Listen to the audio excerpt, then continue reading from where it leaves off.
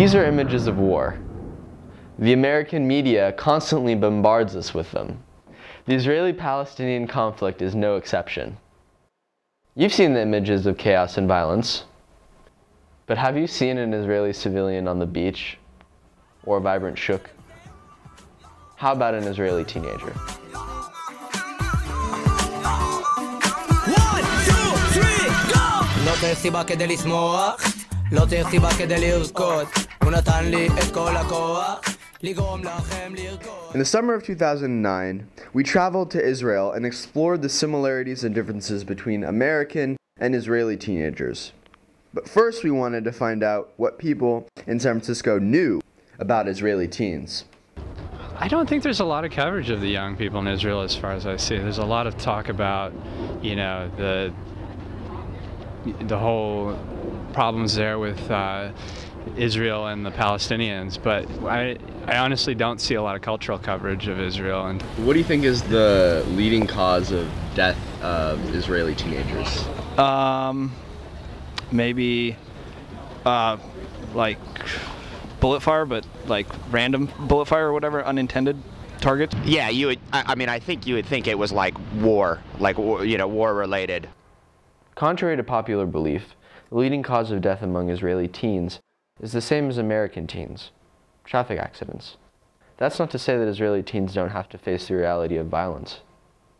80% of 18 year olds in the country serve in the army, and a number of teenagers have been directly affected by war. Edo is one example. We were at synagogue, and we sat there and studied Torah. I returned home and I found that a Katyusha had landed next to my house. I discovered that the Katyusha hadn't landed on our house, but next to it. And my room, which is on the outside of the house, had been damaged. Windows had been broken, cabinets had fallen down, and some of the walls had been damaged.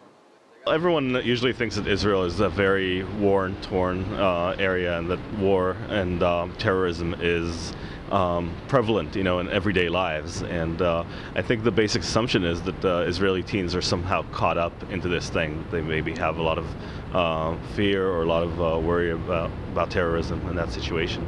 We have a lot of activities in Israel, like uh, like what? Um, we can't the go beach, to clubs, parties, the Brigamati.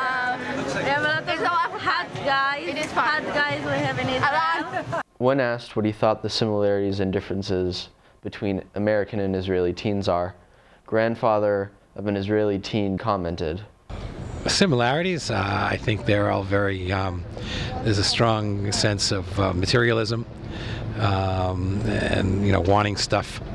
Uh, very plugged into um, you know modern technology, modern uh, modern, you know, uh, current music, and so I think the, a lot of the, the tastes are the same. The instruments may vary, but Israeli and American teens enjoy many of the same activities.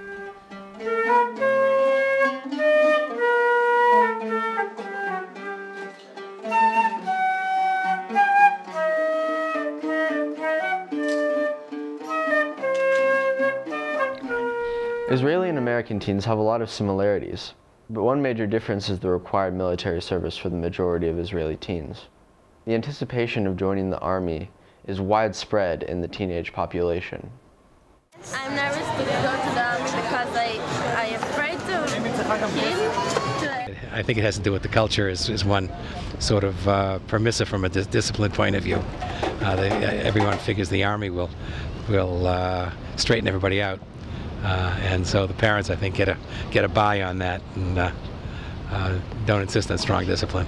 Israel is a great place for uh, teenagers uh, to live. I think that um, they get a, a lot of uh, freedom, most uh, from their parents, also from society. It's a very kind of child-friendly, kid-friendly uh, place to be. They got, they do get a lot of respect, and you know, the fact that a couple years later they become soldiers in the regular uh, military kind of gives them that kind of spirit to goof off as much as possible, because they need to turn into adults pretty fast afterwards.